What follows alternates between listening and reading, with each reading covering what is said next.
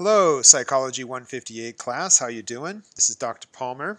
As promised, I'm continuing my lecture on Chapter 5, Color Perception. And we're picking up here uh, on this slide. Make sure I'm in the right spot here. Yeah, okay. So picking up here on the slide where we were talking about um, James Maxwell's color uh, matching technique, and it's still used today.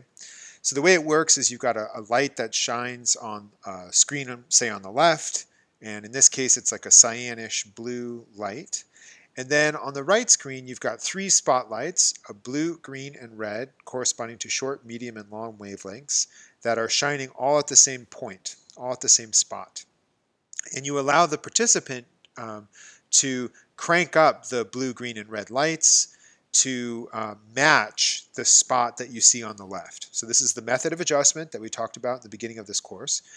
And what's surprising is that if you have a properly selected blue, green, and red light, which by the way correspond to the peak sensitivity of your short, medium, and long cones, respectively, then uh, a user can adjust those lights and can match any light that you put on the left side of the screen.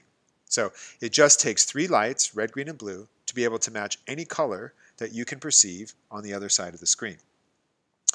Um, so that adds credence to this uh, Young Helmholtz trichromatic theory of color vision. The, the trichromatic theory is that you need blue, green, and red lights to reproduce any light that you can see. So another thing that's happening here in, in this example with Maxwell's procedure is this is additive color mixing. So in additive color mixing, you're shining lights on top of each other, and the spectrums from each of those lights sum together. And the spectrum you perceive is the addition of those two spectrums together. And so, for example, if we uh, shine a blue light and a yellow light onto the same surface, what you will perceive is a white light. Um, and the reason is that the blue light has the short wavelengths in it. The yellow light has both the medium and long wavelengths in it. So where they overlap, they're adding together, and you have short, medium, and long wavelengths all being represented. When uh, light has all wavelengths, short, medium, and long, we perceive it as white. White is just the combination of all colors together. The other thing to remember here is that uh, we talked about the idea uh, that um, red and green light together form yellow. Okay, so that's a metamer. A single yellow spectrum uh, can be matched by a combination of red and green light. Red and green make yellow when we're talking about additive color mixing. So here's another example of additive color mixing, which is kind of interesting. Uh, if you look at this pointillist painting uh, uh, of a harbor scene. Down there on the boat, uh, it kind of looks orange. You've got this uh, sort of orange image that, that looks like uh, here I'm pointing to. You're kind of reflecting off the boat. Um, and uh, if you zoom in, it turns out that there isn't much orange there, right? So there's some gold and yellow, there's some red, there's kind of pink. But when you stand far away, it looks like an orange reflection or orange side to the boat. That's probably due to this sunset scene. So this is another example of color additive color mixing because the when you're far enough away, those little patches of color all sort of combine together because they're too small for you to see at a distance. Additive color mixing is what you do with lights, but subtractive color mixing is the kind of mixing you do with paints. And this is probably the most uh, common kind of color mixing. It's probably the one you're most familiar with. And so let's explain subtractive color mixing. So under the rules of subtractive color mixing, blue and yellow make green, which is different. Under the rules of additive color mixing, blue and yellow make, I'm sorry, yeah, blue and yellow make um, white. But in subtractive color mixing, blue and yellow make green. Here's the reason. You've got white light coming in. As I said, that's all parts of the spectrum. So if white light comes in and uh, it either passes through a filter, so that's like a kind of yellow uh, filter you'd put in front of a light, or you could think of this as being yellow paint. A yellow pigment looks yellow because what happens is when light hits it, all of the short wavelengths are absorbed, but the medium and long wavelengths come through. And as we established a moment ago, medium plus long wavelengths of light cause you to uh, perceive it as yellow. So um, white light hits a yellow filter, short wavelengths go away, but medium and long come through. Uh, now we can look down here at the blue filter. What a blue filter is, is that it allows the short and medium wavelengths to come through, but the long wavelengths are filtered out. So when we combine the yellow filter and the blue filter, or similarly, yellow paint and blue paint, um, the long end of the spectrum is absorbed by the yellow filter, but it lets the medium come through. The, the, the um, sorry, the short end is absorbed by the yellow filter. It lets the long come through. The long end is filtered by the blue, and it lets the short come through. But the only thing they have in common is that they both let this medium through. And so if the medium uh, wavelengths are coming through, then what you're going to perceive is green paint or a green light that's coming from those two filters. So that's because green or the medium wavelengths are sort of the only thing left after everything else has been filtered. So this is why we call it subtractive color mixing because it's removing parts of the spectrum and what remains is what the, the color that you perceive. Whereas additive color mixing, you're layering lights on top of each other and they add together to create a larger amount of spectrum than what each individual component was on its own. So moving out of uh, the eye, the retina, and getting into lateral geniculate nucleus, you find cells that have a center surround receptive field. And we know that. We've been talking about kind of uh, light on the center, dark on the surround. We've been talking about these sorts of receptive fields. But it turns out there's also cone opponent cells. So these are neurons that um, mark contrast between red and green or blue and yellow. So these cone opponent cells also have a center surround organization. Um, we're going to talk more about cone opponent cells a little bit later. So we've talked about color detection in step one, we talked about color discrimination in step two, and now we're going to talk about color appearance. And um, one thing to talk about in terms of color appearance is the idea of a color space. And I started to explain this on Wednesday a little bit, but we're going to go into a little bit more detail now. You can imagine all of the possible color combinations as occupying something like a three-dimensional space. We call a color space. And um, one way to think about it is in terms of red, green, and blue light. So let me jump out of my PowerPoint here and go over to, um, let's see, we're going to look at color space. Um, so uh, here's an example of an RGB color space. And let's see. That's not the best example. Here we go.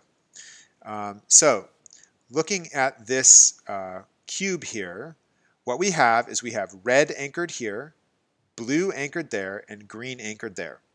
And as you move along the cube, you have different combinations of red, green, and blue. So up here in this corner is the combination of blue and green, that's cyan. Here we have blue and red, that's magenta. Down here we have red and green, and as we talked about, that's yellow. So in this color space, the axes we're talking about are red, green, and blue, but you could think of the whole color space as being every possible combination of those. So notice that you could have other anchors. For instance, your anchors could be cyan, magenta, and yellow. So, um, and then if you include black, that's K, then you end up with CMYK, cyan, magenta, yellow, black. That's another kind of color system. Same color space, different anchors for your axes, um, and, and, and, depending on what your function is, what you're trying to do with that color, um, you might use one system or another.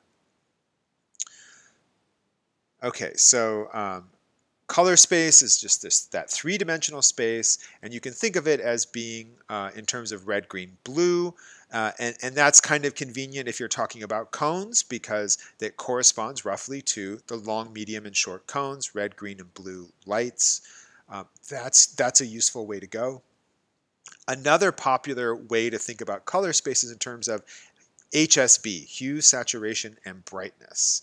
And so the hue is the color, and then the saturation is, it says the chromatic strength. I think of it as like the number of uh, pieces of color per unit area. That's the saturation. And then the brightness is the distance from black. So the less brightness, the closer to black, and the more brightness, the uh, farther away from black. So let's go um, look up here, color space HSB. And um, here we have kind of interesting uh, color situation. So um, in this case, we're conceptualizing color space as proceeding along a wheel. So if you look at uh, moving around the circle, you've got your different hues. So we can't see red right here, but you know, red, orange, yellow, green, uh, cyan, you know, indigo, blue, purple. And uh, brightness is going up in this particular case. So what you can see along the bottom is this is really black. So if you look in this kind of orange here, as it goes down, it gets darker and darker. There's less light that's coming off of the orange. So by the time you're at zero brightness, everything looks black. Uh, and then starting in the center and moving outwards, we have increases in saturation. So again, if you look at this orange, if it's very saturated, it's like there's a lot of color per unit area. And then as you move towards the center, which is less and less saturation, you have less color per unit area. So you've got this combination, this slice through this color space here is for a particular shade of orange, and you see all the combinations of from low to high saturation and from high to low brightness. Um, here's some other uh, kind of images of these things. Here's another one. Again, you've got hue going around the circle on the outside, saturation in the center. This one says value. Value is roughly the same thing as, as brightness. Um, let's see. This one's kind of interesting. Um, it shows you these cones, and then you can see that um, each slice through has a different brightness. So by the time you get down here, everything's looking pretty black because you've got zero brightness. All right, that's the idea of HSB space. And um, that's also very useful. So um, in a computer program, you have, uh, like PowerPoint has this, you can choose whether you want to do RGB sliders or HSB sliders, and uh, you can adjust the amount of red, green, and blue in your, um, in your color swatch. And that's essentially just kind of moving you through this color space in one direction or another. If you're doing HSB sliders, you're first of all, uh, this first slider is the hue. It's going to move you around the circle. And then saturation is going to move you in and out. And then brightness is going to move you up and down. So these are just different ways of navigating pretty much the same color space, right? The same kinds of colors. It's just how do you want to access them? All right, so we've talked about trichromatic theory. Um, there's also a really important theory called opponent color theory. And the opponent color theory says that your three cones, long, medium, and short, red, green, and blue, are in opposition to each other. And in particular, there seem to be certain colors that are in opposition to each other. So uh, red is in opposition to green, and blue is opposition to yellow. And you might be thinking to yourself, well, how is there yellow if we only have red, green, and blue cones, right? Uh, long, medium, and short. Yellow is your brain combining the outputs of your medium and long cones together. Your brain adds medium plus long, and that equals yellow. And we showed uh, earlier that you know red plus green makes yellow. So you have LGN cells that have um, instead of like an on center off surround or a white center a black surround, now you've got red center green surround or blue center yellow surround and these um, are called color opponent cells. Um, so you have not only red versus green, you also have blue versus yellow cells, and yellow is going to be the outputs of the L plus M cones together, L plus M. So Edward Hering, uh, or sorry, Ewald Hering is uh, famous for having noticed that you can have some color combinations, but you can't have others. So you can combine blue and green. That leads to cyan. You can have a reddish yellow, that's orange. You can have a bluish red, that's purple, but you can't have a reddish green and you can't have a bluish yellow, right? Um, so here's his image uh, that depicts this. Uh, the idea is that if we look around this color wheel, you've got these different color swatches, and they have some combination. So like orange is some combination of red and yellow. And uh, this kind of um, green up here is a combination of blue and green, but you don't have anything that's a combination of blue and yellow, and you don't have anything that's a combination of red and green.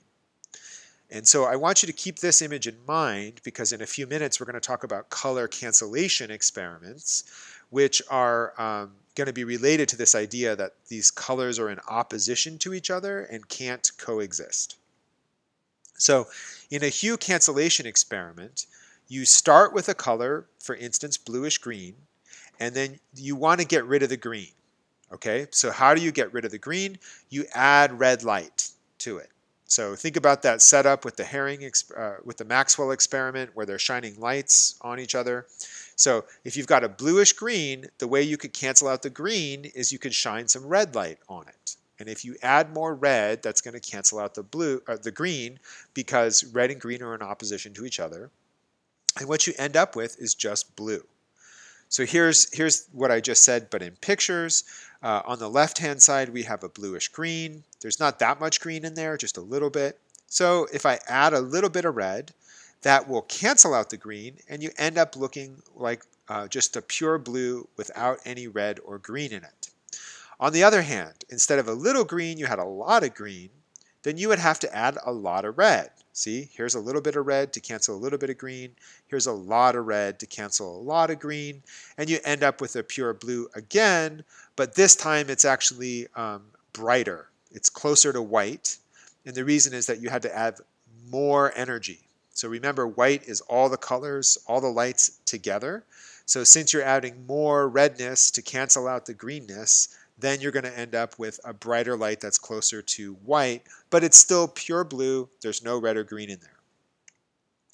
So you can use this hue cancellation paradigm to figure out how much red or green or blue or yellow is present in any hue. So if there's a lot of blue in a hue, you could cancel out blue by adding yellow. If there's a lot of red in a hue, you could cancel out the red by adding green, and etc. So looking at these graphs here, um, starting with the wavelength along the bottom, we've got our rainbow here. And uh, if you look at this part right here, this part of the curve right here, this red part, is the amount of green you would have to add to cancel out the red. So if we just, these each of these data points, if you had, you saw the little data points, they'd be the amount of green that, that people added on average to make this color look purely without any red or green, just pure yellow. And so what you can see is that there's a lot of green you have to add on this side, which means there's a lot of red, and we can kind of see that, right? This is where orange and red are, so there's a lot of red here. In this region, uh, you have to add red to cancel out the green. And so you see there's a lot of green in this region. And then as we get closer to the end, we're at the purple region. So there's some red in, in this part of the spectrum too. Interestingly, there are certain places on this spectrum where you don't have to add any red or green. The blue automatically appears to not have any red or green in it, and or the yellow appears to not have any red or green in it. And you can predict where that's going to be because of where these things cross, and they switch over from needing to add green to needing to add red. And so those are called unique hues. This is a unique blue, this is a unique yellow. And so what that means is uh, this unique yellow is a yellow that has no hint of red or green in it. Likewise, this unique green is a green that's pure green and has no hint of yellow or blue in it. Uh, I don't know why they don't show it here, but unique red would be over here somewhere, and that would be a pure red without any sense of blue or yellow in it. So in other words, no purple, no orange, just pure red. So uh, the idea that red and green cancel each other shows that they're in opposition, and the idea that blue and yellow cancel each other shows that they're in opposition. So this helps us to understand the next step, of, the step of discrimination in our three steps of color perception. So step one, your short, medium, and long cones register the light that's coming into the system. Step two, they start to act in opposition to each other, to discriminate the lights. So your, medi- your long and medium, so you have some neurons or some LGN cells that represent L minus M. So how much more red than green is there? You have other neurons that represent M minus L, which is how much uh, green as opposed to red is there. And then when you get to blue versus yellow, the S is blue, but what's yellow? Well, yellow is just long and medium light together, right? Red plus green equals yellow. So here you have yellow minus blue, or L plus M minus S, and then this is blue minus yellow. So that's the blue versus yellow range. And so then finally we get to this idea of color appearance. All right, so, so the way colors actually appear is not purely how they uh, are detected on your eyes. They involve this idea of contrasting the amount of red and green or blue and yellow that's in there. So here this is in, in graphs. We've got our, our detection by our uh, short, medium, and long cones. Then they do the L minus M and the M minus L. So L minus M is going to be this red guy. That's the place where there's more red than green, and it makes sense because down here there's orange. There's definitely more red than green in here. And then over here, this green one, that's the M minus L. So that's over here in this green part of the spectrum. There's more green than red here. And then the same thing for blue and yellow. This is where there's more blue than yellow. Uh, that's the S minus L plus M or blue minus yellow. And then here's where it's yellow minus blue. And so this part of the spectrum has more yellow in it. And you see that there's a peak above zero here. So that's the discrimination stage. And then finally, you end up with these color opponent cells. And the color opponent cells are going to have um, pretty strong response to green in this region, strong response to red in this region and that region. Again, that's because of the purple over here. And then on the blue-yellow spectrum, you got more blue on this end of the spectrum and more yellow on this end of the spectrum. So when you look in LGN, we have uh, center surround opponent cells, uh, and we've talked about them in terms of like on center, off surround, that is white in the center, um, black in the surround. But you also have red center green surround, green center red surround, you have blue center yellow surround, and yellow center blue surround. So um, let's go, let me show you some images of these things. Okay, so this is what the, the um, receptive fields of these color opponent cells in LGN look like. So you have yellow in the on in the center and blue off in the surround. And you know blue on yellow off red on green off green on red off.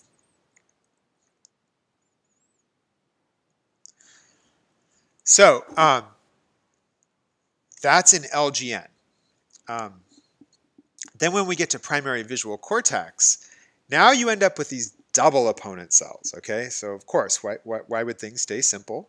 They're going to get more complicated so these double opponent cells, it's not just red on the center and green off the surround. It's that it's, um, here, let me show you pictures. So um, in the LGN, you have L, pl L plus, that's red on, and then M minus, green off. So um, that's what the best stimulus would look like for this, a red thing just in the center. But when we get to cortex, you get these double opponent cells. So it's red on the center, but green off center. So it's not just that red excites the center, it's that green shuts down the center.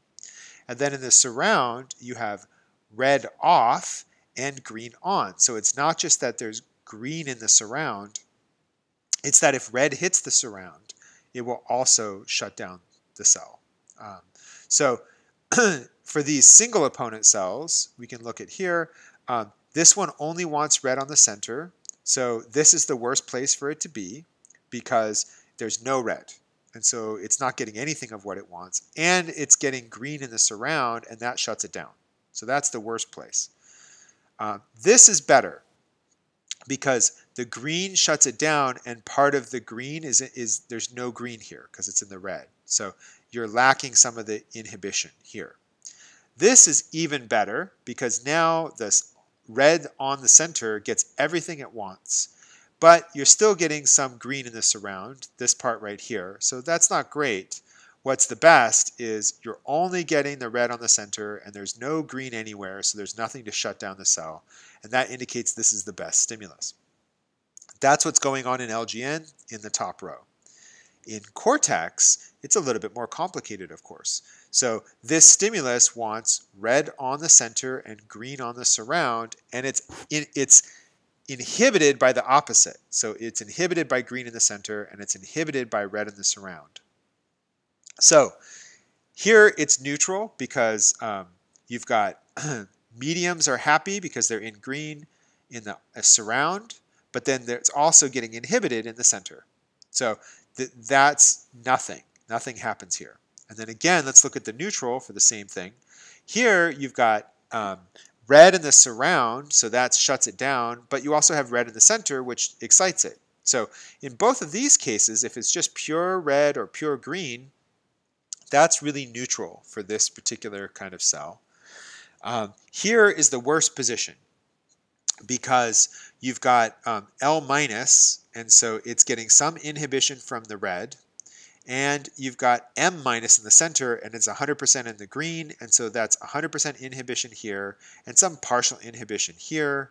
Um, there's some uh, partial excitation here, but it's not enough to come overcome all of it. And then this is actually the best position because the L plus in the center is getting all the red it needs, and the M, uh, let's see, yeah, the M plus in the surround is getting a little bit of excitation here. Um, so this is going to give you the peak response. So in LGN, the cells are responding to the presence of red or green. And in cortex, they're responding to the contrast between red and green. So there really is this L minus M or M minus L thing happening by the time you get to cortex. All right, so that's that's our section on uh, our, our color receptors and how they differ in, in LGN and cortex. Now we're going to talk about um, individual differences in color perception. In other words, what, what is it like for different people to perceive color? And when you're talking about what it's like for somebody to perceive a color, in other words, what's their private conscious experience of a color, what you're talking about is qualia. And qualia is sort of like the, the blueness of blue, um, the experience of seeing blue. And if you wanted to ask the question, is my perception of blue the same as your perception of blue? Boy, that's a really tough question to ask. Um, in some sense, you're asking, is my conscious experience of blue the same as your conscious experience of blue? And there's really just no way to know that because we don't have access to other people's consciousness. We can't experience exactly what they're experiencing. Uh, let me give you an example of why this might be a hard question. Let's imagine, for the sake of argument, that um, I look at things and, and I see something that's blue and I have a particular experience of blue. Let's imagine you look at the same thing and your qualia, your experience of blue, actually looks like purple. Like if I had access to your consciousness and I saw what you see when you look at what I think is blue, you might actually be experiencing purple. But you grew up your whole life calling that experience of purple the label blue. So what I would call purple, you call blue.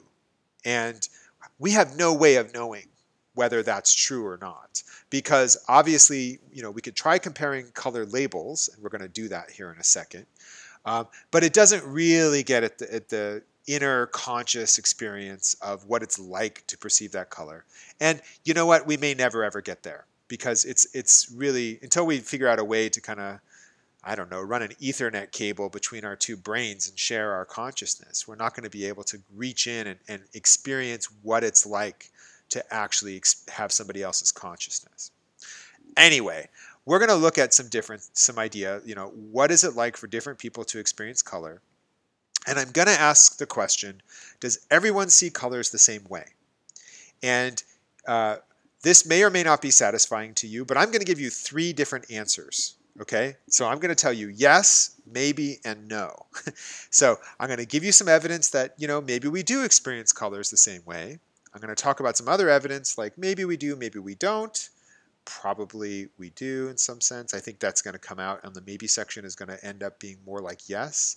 And then we're going to talk about uh, no. And there's a very clear way in which we don't share the same color experience because some people are colorblind and some people are not. So first, do we see colors the same way?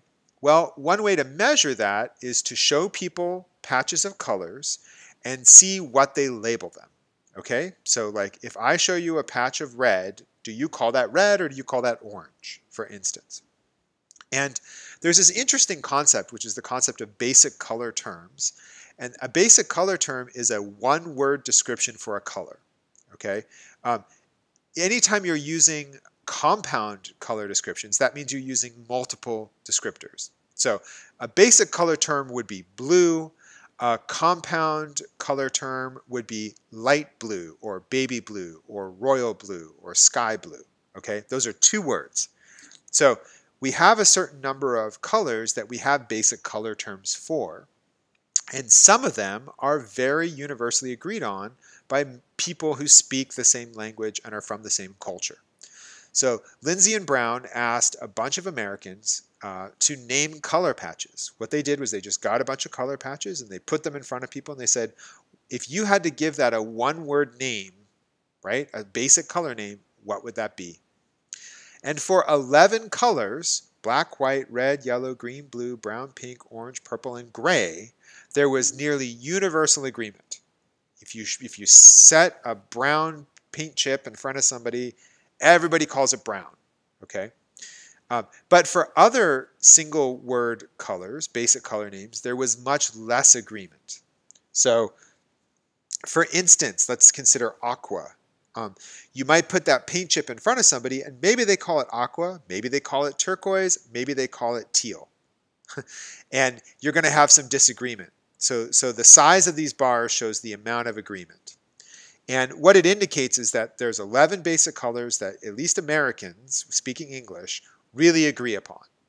Um, if, if in the future, if other colors end up becoming part of our basic color repertoire, the most likely candidates are peach and teal because they were just below universal agreement, but uh, they seem like, you know, at some point maybe they'll become part of our basic color repertoire. But we can say that red, orange, yellow, green, blue, uh, purple, pink, gray, and brown, and black and white are, are 11 basic colors.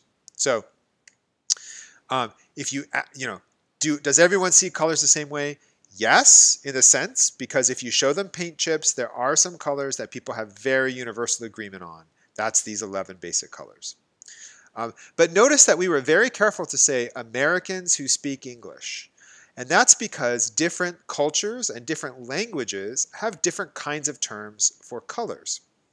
So um, there's uh, uh, this idea of cultural relativism. Um, you may have heard it as like called the Whorfian hypothesis, named after a, a guy named Whorf who proposed this idea first. Um, and the idea is, in some sense, that language limits thought. That the words you have in your language affect what you perceive or what you can think about.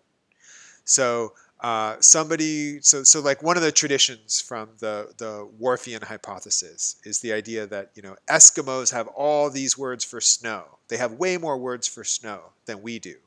And the reason is that you know Eskimos live in snow most of the year, so they, they need they have all kinds of um, more cognitive subtlety about snow, and that's reflected in their language. And so the fact that they have these words for snow indicates that there's more cognitive subtlety about their thoughts about snow. Um, so that's an idea that language uh, kind of shapes thought or reflects thought. So let's think about a particular culture. There's a culture called the Dani tribe, and they were discovered in New Guinea around the 1950s or 60s. And they were studied by a woman named Eleanor Rosch, who's a very interesting famous cultural anthropologist. And the thing that's really interesting about the Dani tribe is that they have two words for colors. Uh, and, and I'm probably going to get these backwards. I never remember it, but for this, I know the two words were mili and mola. I just can't remember which one went with which colors. But for the sake of argument, let's say mili was all of the warm colors. So orange, gold, red, um, all those colors were considered mili. And if you showed them a, a paint chip with red or orange or yellow, they would people in the Dani tribe would say that's mili. All of those colors have the same linguistic label. The other label was mola, and those were for all the cool colors, like um, cyan, blue, green, purple, all the kind of colder, bluer colors. And so if you showed somebody from the Dani tribe a paint chip that was purple or blue or cyan or teal, they would all say mola. Okay, so here we have a culture that does not make a linguistic distinction between, for instance, blue and green. Those would both be called mola. So the question we could ask is Does their lack of a linguistic distinction, a linguistic label between blue and green, affect their perception of blue and green? And the experiment goes something like this. Um, let's take the case on the right first. So in these experiments, what you do is you take a card with a, like a paint chip, a color on it, and you show it to somebody, the participant, and you say, okay, remember this color, and then you take it away. And then you show them two cards. One that has the original paint chip, that's the one here on the left, and one that has a slightly different color, the one on the right. And in this case right here, um, especially for English speakers, this would be considered an easy choice.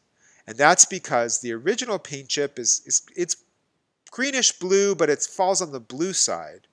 And when you have to make a, a distinction between these two, one is blue and one of them crosses a categorical boundary, and we would call the one on the right green. Okay, so we have a different linguistic label. This is green and this is blue, or maybe uh, teal or aqua, one of those. Uh, but the point is, they have two different linguistic labels. Um, in English, of course, they have the same lingu linguistic label uh, for the Dani tribe. These would both be Mola. Uh, now, the harder choice is this one on the left. Again, same paint chip. I show you the paint chip, I take it away, I give you these two choices. But now both of these are kinds of blue. So we don't have a difference in a linguistic label for the two choices.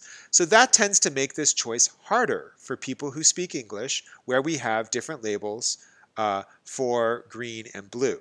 And again, uh, in English speakers, we don't really distinguish between blue and aqua, right? Really, we would just call these blue, uh, as we showed you before. So for English speakers, this is an easy choice because it's a choice between bluish thing and something greenish. And this is a harder choice because it's between something that's lightish, lighter bluish and darker bluish. All right, that's the setup. The question is, what happens with the Dani tribe?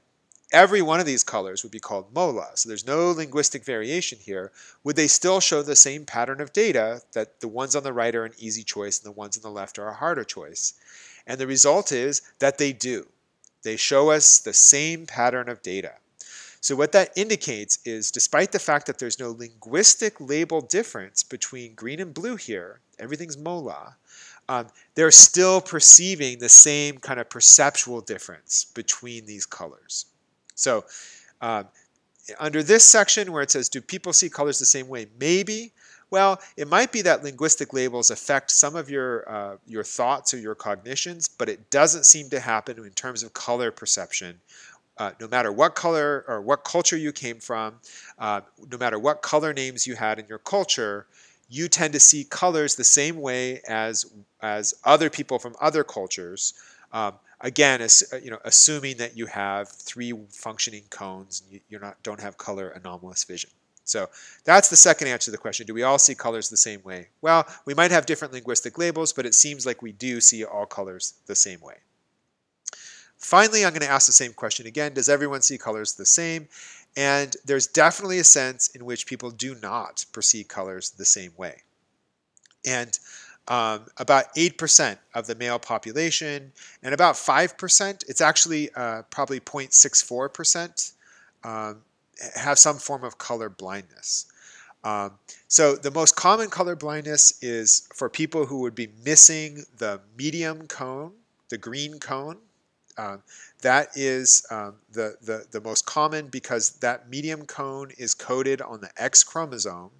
And this is why it's more common in men, because men only have one X chromosome. So if you happen to get one of the 8% of the X chromosomes in the, in the population that doesn't have a gene for the, the medium cone, then you're going to be uh, red-green colorblind if you're male. You're going to be a deuteranope. Uh, but to, for a woman, you have to have two X chromosomes that um, neither of them have the gene for the uh, medium cone. And so th that ends up being 0.08 times 0.08, which would be 0.64. So actually, this is a little inaccurate, but uh, the female population is it's much rarer to have color blindness in the female population um, than it is for the male population because at least the medium and long cones are carried on the X chromosome. Women get two X chromosomes, so they have a double chance to have a functioning medium and long cone, but men only get the one chance from their one X chromosome. So normally, kind of colloquially, we call people color blind, but actually it's more like the, better term is that they're color anomalous. Okay, so um, it's not that they they're not blind to color. There, are, there actually are people who are blind to color. We're going to talk about them, but uh, people who are red-green colorblind, they're actually color anomalous. They, they experience colors a little bit differently. So there's three types of labels uh, for different kinds of color anomaly depending on which of your cones you don't have a gene for, which one you're missing. Okay, so the deuteranope is by far the most common type. Uh, that's what we typically call red-green colorblind, and that's due to the absence of the medium cone, the green cone. Um, the protanope is the second most common, and that's due to the absence of the L cone, the red cone. And then there's a tritanope, and that's very rare because uh, the short wavelength cone is coded on another chromosome pair. I don't remember which number. Um, but for you to be a tritanope, you have to be missing the S cone in both of your chromosomes. And so both of your parents would have had to be carriers for this tritanope uh, thing to happen. So that's very, very rare. Um, let's see. I had this open earlier, but let me see uh, if I can get it again.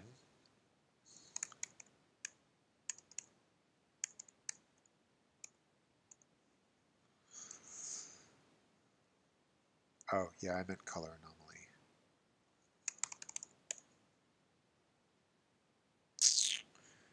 Um,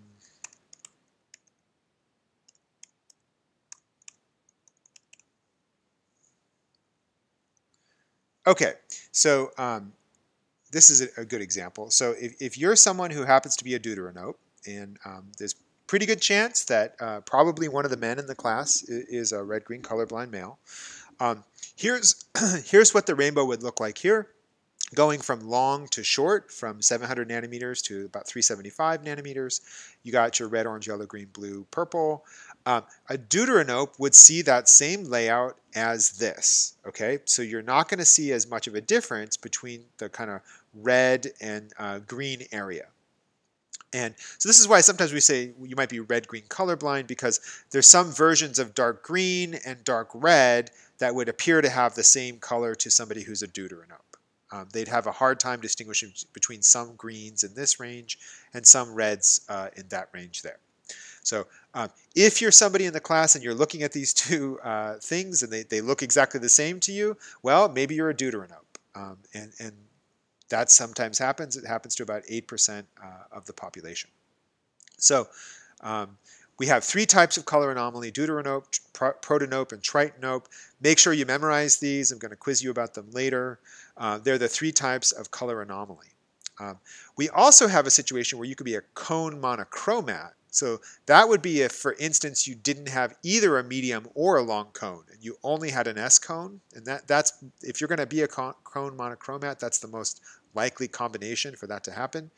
Um, in that case, you really are colorblind because you suffer from the problem of univariance, which we started the entire section, uh, this entire lecture on color vision with. And um, you're not going to be able to perceive anything except for luminance differences because you're just operating off of a single photoreceptor.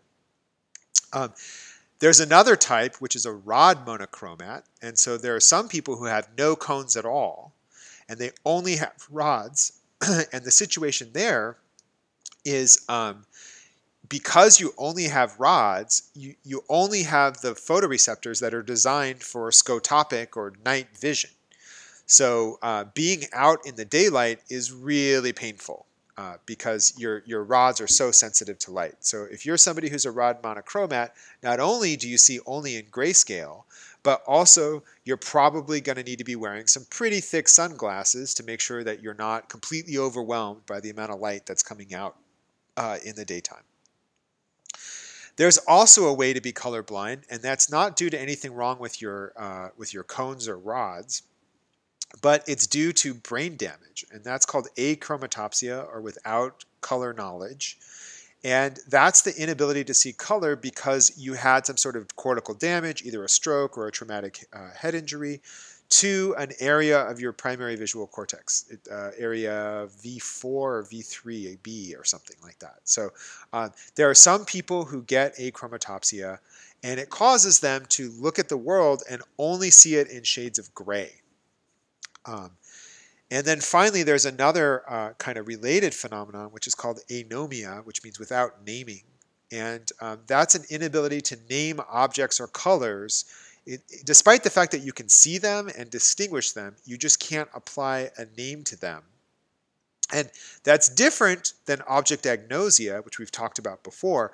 Object agnosia, you can't name objects through your vision sense, but you can name them through the sense of touch or, or that sort of thing. Anomia is you can't name an object at all.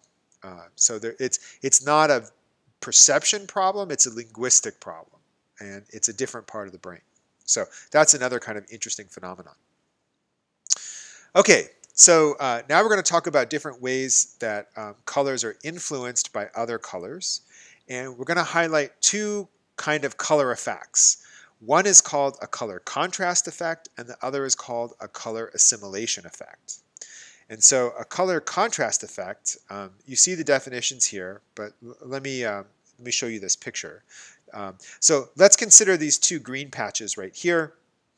Um, what you should notice is that the color of green here and the color of green here looks different.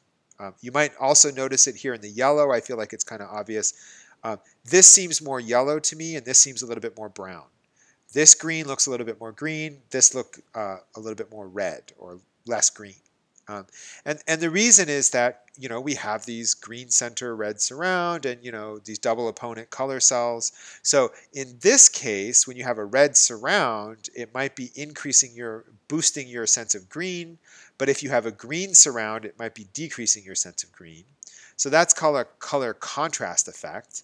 And what you should notice is that you know the reds don't look the same, the greens don't look the same between top and bottom, yellows and blues, they all look a little different. Um, the next one that's kind of interesting is called the color assimilation effect, and it happens on these sort of checkerboard backgrounds. So this is a checkerboard background of red and green. And then in the center, what we've done is we've placed, replaced the green squares with yellow, or we've replaced the red squares with yellow.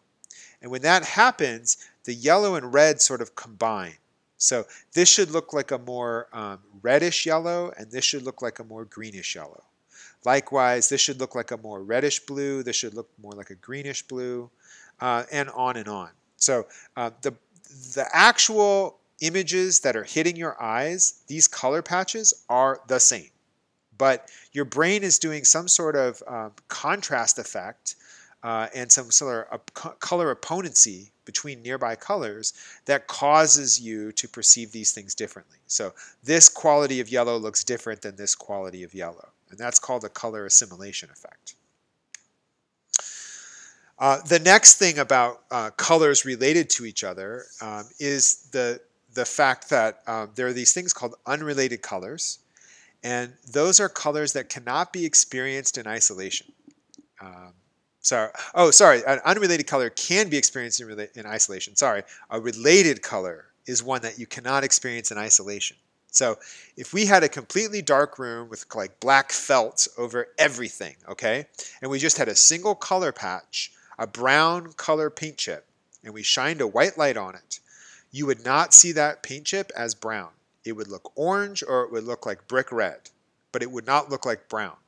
It's only if you have other colors in the scene that you get the perception of brown. Likewise, you don't if you had a perfectly pitch black room with just a gray patch and you shined a light on it, that patch would look white. If nothing else to compare it in the room, a, a single patch, uh, your brain seems to anchor on whatever the brightest color is in the room and it treats it as white, and every other color is regarded relative to that. If you added a lighter uh, gray so like yeah, medium gray, it's the only thing in the room. There's a medium gray, you shine a light on it, it's gonna look white. If next to it you put a light gray, all of a sudden the light gray would look white and the medium gray would look a little little gray. Not medium, it would look kind of light gray. But next, so in other words, if there's something lighter, your visual system will anchor to the most the lightest chip uh, in the room. So that's kind of interesting. So in your perception of, of what's white and black within a scene, it anchors to the, the whitest thing in the room or the blackest thing in the room, and it treats those as uh, the blackest thing, you know, it treats them as white or black, despite the fact that they might be actually gray in other circumstances. So those are called related colors because they're only perceived relative to other colors. And brown and gray are the two examples of that. Okay, so the next phenomenon we're going to talk about are after images. And after images are um, really interesting because um, you get negative after images. So if you stare at a red patch for a while and then look at a white wall, you will see a green after image. So red stimulation, the after image produced is green. And as you might guess, Blue stimulation produces a yellow after image, yellow produces a blue, and on and on. So whatever patch you stare at, you end up perceiving the opposite color um, in, uh, in, your, in your mind. So let's see if I can pull up um, this other uh, thing here.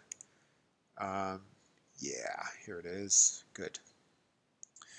Okay, so um, here's what's going to happen with this. Um, so look at this dot right here. Just stare at that for a while. And uh, just keep going and stare at the dot. And we'll see what happens.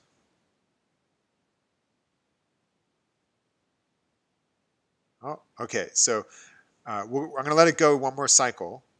Uh, but what happens is it's a black and white image that it shifts to. Um, but you stare at, okay, so stare at the dot again. Um, so what's happening is your eyes are getting used to this negative image that you're seeing. And so when we turn it off and it's just a grayscale image, then you perceive the opposite. So instead of a cyan thing on the right, it looks like brick red. Uh, and instead of whatever it was on the left, probably some kind of blue, it looks like a tan yellow and then the trees kind of seem uh, light green instead of purple.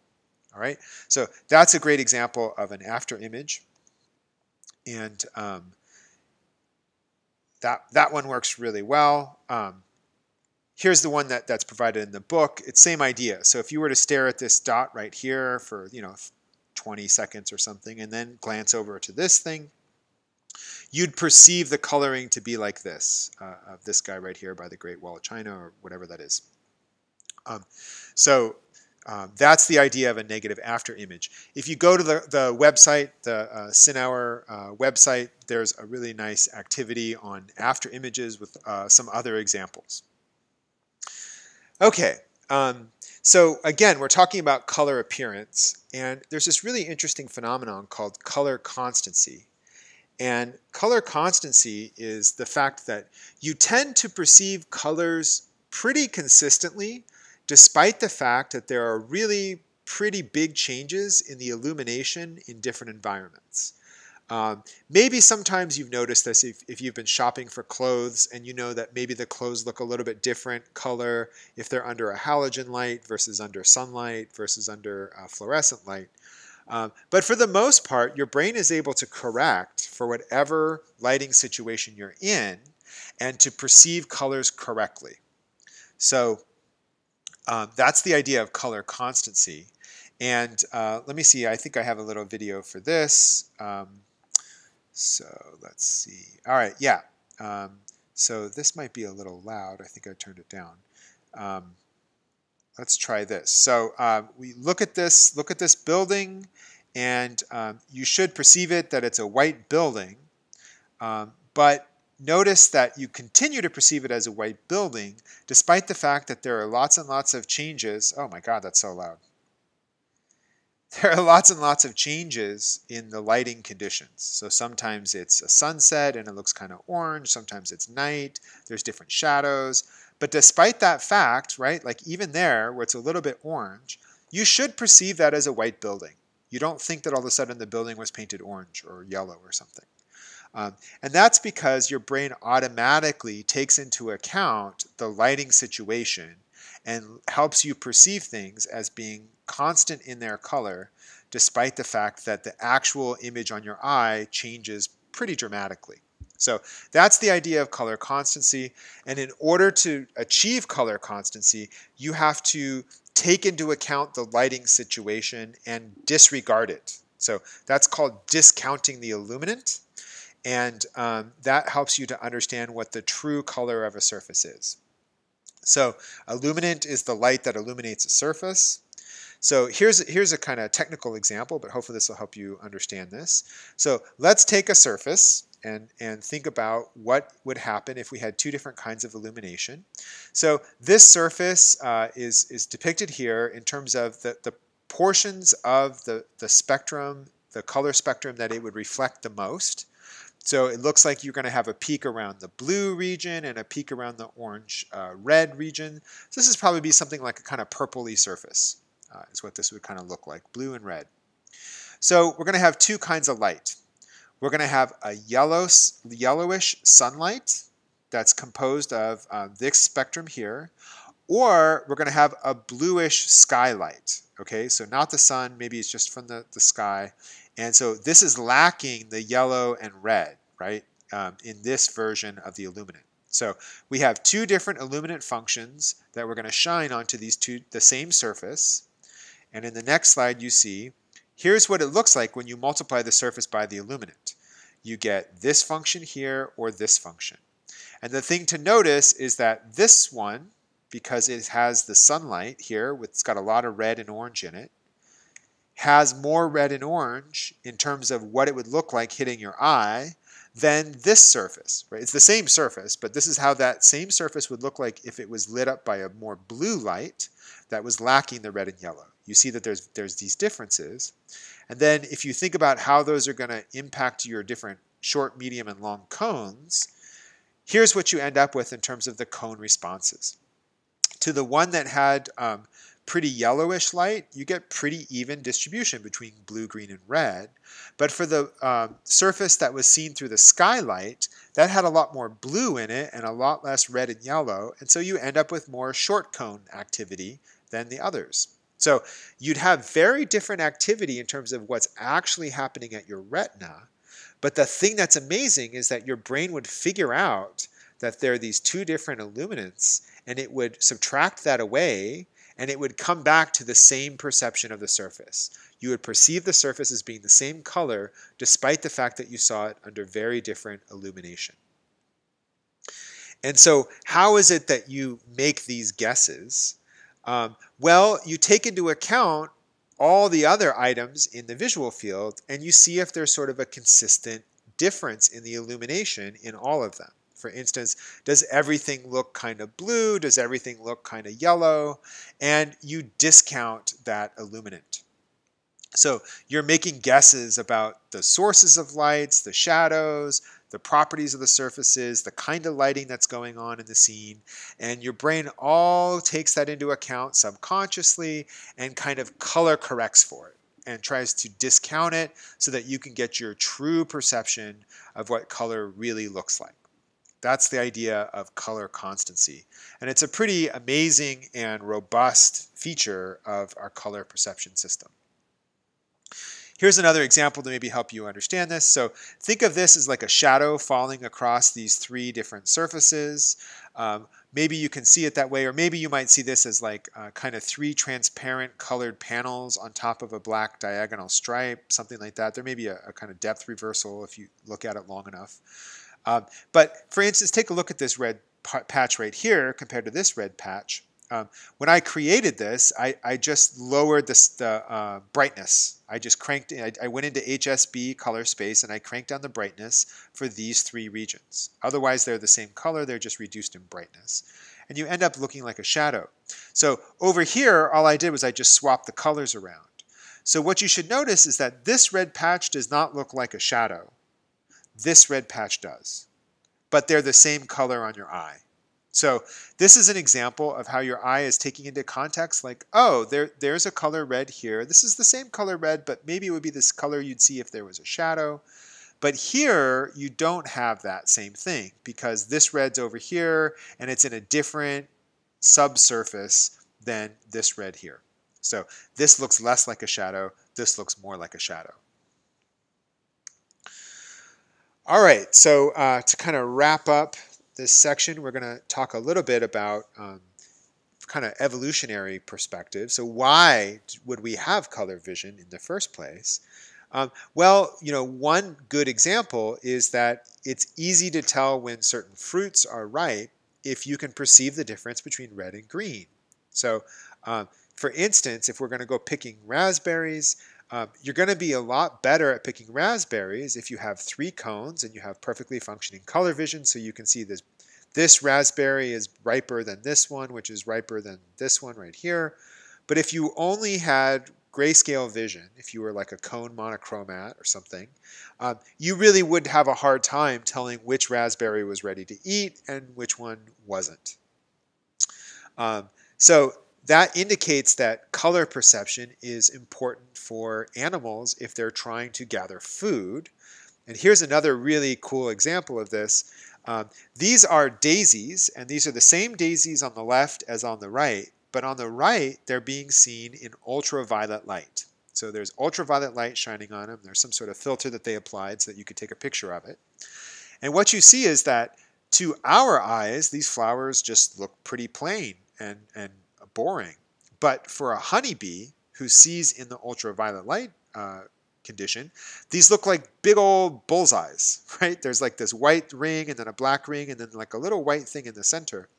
And that indicates to them that they should go land right in this black center and go check out that pollen, gather that pollen for food. So there's this evolutionary kind of dance between the food we eat and um, the the animals and their their their visual systems, such that um, uh, the plants that are trying to attract certain animals, like you know these daisies need the bees to pollinate them, these raspberries need people to eat them so that they can spread their seeds. That's how they get their seeds out there. Um, they will adjust uh, in the range of the color that is important for that animal. Um, another reason animals have color vision is probably uh, related to sexual reproduction. Um, so, for instance, I was saying that you know these flowers are advertising themselves to the honeybees so that there can be some pollination there. Um, there are lots of um, what seem to be ev selective evolutionary pressure based on sexual selection that you see in animals. So there are fish with bright colors. Uh, peacocks have these really wild tails with all these different, uh, really uh, beautiful patterns on them. And if you look at what a peahen looks like, they're pretty dull looking birds. They're kind of brown and they're not particularly special. But um, the peahens really like the peacocks who show off. And so there's been this evolutionary selective pressure for peacocks to become more and more and more colorful and uh, outrageous. And then there are other animals, like some of our primate uh, relatives, who use signaling on their face uh, when they're in uh, heat and when they're uh, sort of receptive for that kind of sexual attraction. That's one way that that's communicated to other members of their species is through the different coloring that you see on the animals. So there's also other evolutionary pressure. Um, food and sex seem to be two major evolutionary reasons that color uh, is important for animals to be able to perceive. And so um, the last thing we'll talk about is um, another version of how you could have color vision. Um, so humans and other mammals, we have different photopigments in our cones. We have different opsins that are tuned to different parts of the, the spectrum, the uh, color spectrum. But birds and reptiles have a very different system for achieving color vision, which is really pretty ingenious. Um, so if you're thinking about birds like an eagle or a falcon or something, um, they have the same kind of photoreceptors, but they've adapted to have these really small droplets of colored oil. So their, their eyes produce this colored oil. The colored oils sit right on top of these um, photoreceptors, and that filters the light. So the white light that comes in, you'd only get the blue, the green, or the red portion of it. And the, that's a way that there's this kind of homologous evolution that went on between birds and reptiles and mammals. So mammals end up with red, green, and blue vision because we have three different kinds of opsins tuned to three different parts of the color spectrum. And uh, birds have three different kinds of oil droplets that sit on top of these photoreceptors. And we end up with a kind of uh, homologous evolution where we both have red, green, and blue uh, perception, but through very different means, which is pretty interesting. So that's it for the lecture. Um, hopefully this video recorded. Um, I did the lecture once and it didn't have audio when I went back and listened to it. So hopefully the audio is working this time. And uh, hope you guys have a great weekend. I will see you on Wednesday.